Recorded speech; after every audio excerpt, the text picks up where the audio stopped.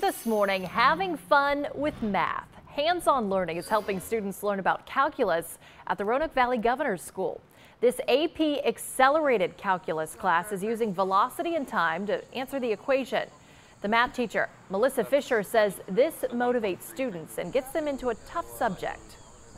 I especially love when they are excited about the content without even realizing it. When, when I hear the words like, this is awesome, or this is cool, you know, or seeing them smile about it. I think it's cool to have a part of the community come in and help us learn what we're doing in math. It's like a cool application type thing.